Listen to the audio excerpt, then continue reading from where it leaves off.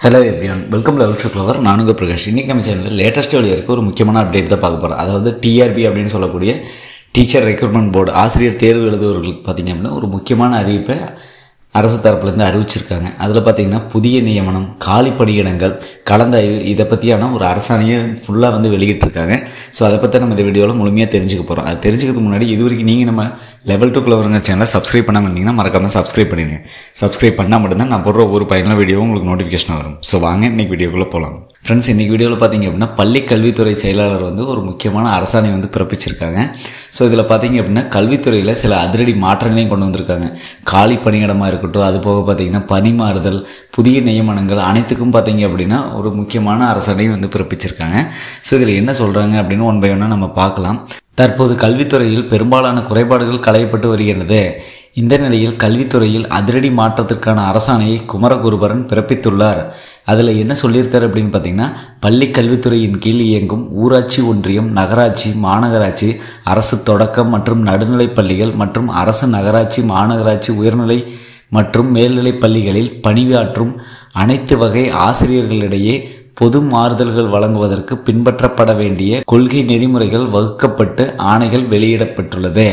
பள்ளி கல்வி இயக்கத்தில் நிர்வாக கூட்டுப்பாட்டில் செயல்பட்டு வரும் அரசு உயர்நிலை மற்றும் மேல்நிலைப் பள்ளிகளில் உள்ள அனைத்து பாட பட்டதாரி ஆசிரியர் காலி பணியிடங்கள் நிரப்பப்படும் போது பின்பற்ற வேண்டிய வழிமுறைகளின் வகுத்து அறிவுறுத்தல் வழங்கி ஆணைகள் வெளியிடப்பட்டுள்ளது அப்படின்னு சொல்லியிருக்காங்க.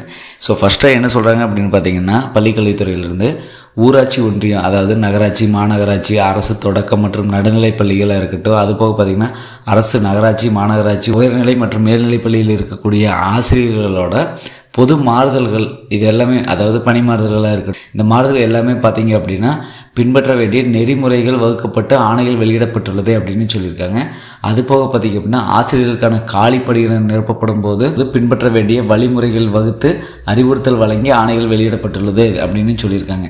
மேலும் என்ன சொல்கிறாங்க அப்படின்னு பார்த்தீங்கன்னா அரசு பள்ளியில் உள்ள அனைத்து பாட பட்டதாரி ஆசிரியர்கள் காலி பணியிடங்களில் ஆசிரியர் தேர்வு வாரியத்தின் மூலம் தேர்வு செய்யப்படும் பணி நாடுனர்களில் இருந்து நேரடி பணி நியமனம் செய்யப்படும் போது பின்பற்ற வேண்டிய கால அட்டவணையை கீழ்கண்டவாறு வெளியிட்டுள்ளது. ஸோ அதன்படி பார்த்திங்க அப்படின்னா பட்டதாரி ஆசிரியர் உபரி பணியிடங்களில் வருகிற மே ஒன்றாம் தேதிக்குள் கணக்கீடு செய்ய வேண்டும் அப்படின்னு சொல்லியிருக்காங்க. அவர்களை தேவையுள்ள பள்ளிகளுக்கு பணி நிரவல் செய்வது மே முப்பத்தொன்னுக்குள் நடக்க வேண்டும். அனைத்து வகை ஆசிரியர்களுடனான பொது மாறுதல் கலந்தாய்வு பார்த்தீங்க அப்படின்னா ஜூன் முப்பதாம் தேதிக்குள் நடத்த முடிக்க வேண்டும் அப்படின்னு சொல்லியிருக்காங்க. பட்டதாரி ஆசிரியரின் காலி பணியிட மதிப்பீட்டை ஜூலை ஒன்றாம் தேதிக்குள் முடிக்கப்பட வேண்டும் அப்படின்னு சொல்லியிருக்காங்க. ஸோ அனைத்து வகையான ஆசிரியர்களுக்கான பொது மாறுதல் கலந்தாய்வு பார்த்திங்க அப்படின்னா ஜூன் முப்பதாம் தேதிக்குள்ளே நடத்த முடிக்க வேணும். அது போக பார்த்திங்க அப்படின்னா பட்டதாரி ஆசிரியர் காலி பணியிட மதிப்பீட்டை ஜூலை ஒன்றாம் தேதிக்குள் முடிக்கப்பட வேண்டும் சொல்லியிருக்காங்க. மேலும் பார்த்திங்கன்னா காலி பணியிடங்களை நிரப்பிட கோரும் கருத்துக்கள் இருந்தால் அதனை அரசுக்கு ஜூலை பதினைந்தாம் தேதிக்குள் அனுப்ப வேண்டும்.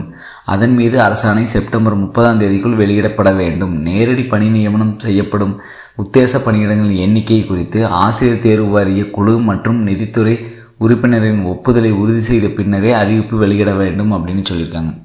மேலும் பார்த்தீங்க அப்படின்னா ஆசிரியர் தேர்வு வாரியத்தால் தேர்வுகள் ரெண்டாயிரத்தி இருபத்தி நாலு ஜூன் முப்பத்தி ஒன்றாம் தேதிக்குள் முடிக்கப்பட வேண்டும் அப்படின்னு சொல்லியிருக்காங்க. ஸோ மேலும் பார்த்தீங்க அப்படின்னா முடிவுகள் ஏப்ரல் முப்பதுக்குள் வெளியிடப்பட வேண்டும். சான்றிதழ் சரிபார்ப்பு மற்றும் இறுதிப்பட்டியல் மே ஒன்று மற்றும் மே முப்பத்தி ஒன்றுக்குள் வழங்க வேண்டும். இந்த அரசாணையை பள்ளி கல்வி இயக்குனர் மற்றும் தலைவர் தேர்வு வாரியம் தவறான கடைபிடிக்க வேண்டும். இவ்வாறு கூறப்பட்டுள்ளது அப்படின்னு சொல்லியிருக்காங்க. பள்ளி கல்வித்துறையில் வெளிப்படைத்தன்மை கொண்டு வந்து இது போன்ற அரசாணை இதுவரை வெளியிடப்பட்டது இல்லை. தற்போது வெளியிடப்பட்டுள்ளதால் கல்வியாளர்கள் மத்தியில் ஆசிரியர் சங்கங்கள் பட்டதாரி மத்தியில் பெரும் வரவேற்பை பெற்றுள்ளது. ஸோ இதில் முக்கியமாக ஒரு மூணு பாயிண்ட் சொல்லியிருக்காங்க.